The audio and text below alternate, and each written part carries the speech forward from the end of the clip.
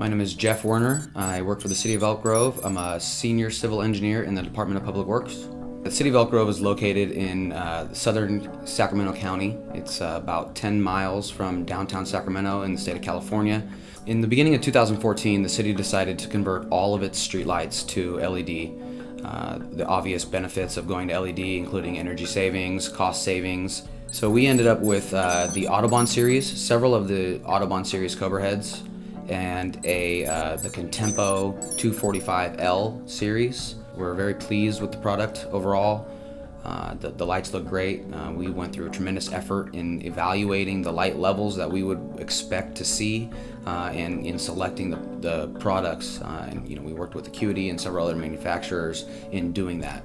Uh, we ended up doing 9,852 streetlights uh, using Acuity brands and uh, we're very happy with the project. Uh, we like the results of the LEDs. We think LED is a much more proven technology at this point. We decided to go with seven pin photocell receptacles, which will allow us to, in the future, upgrade to significant levels of lighting control through whether it's motion detection, uh, you know, onboard cameras, uh, you know, strobing, dimming, anything like that. We definitely did the zero to 10 volt dimmable drivers uh, something that Acuity and all of the other manufacturers recommended, and uh, Acuity was able to provide.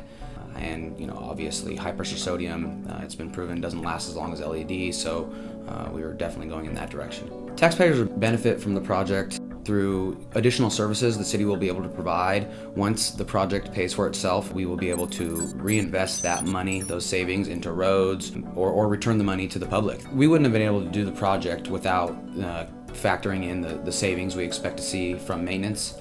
Maintenance is a huge part of it. Uh, it's generally 40 to 50% of the overall savings that we expect to experience, and that's due to the longevity of the LEDs and the expected decreased frequency for how often you have to change out a, a light.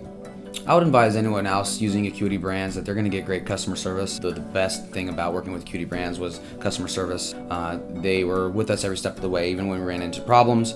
Uh, they dispatched teams to help us troubleshoot. So it was it was a great overall partnership, and that's something the city was definitely looking at when we were evaluating manufacturers. Uh, you know, in our early stages of the um, you know the pilot studies that we did.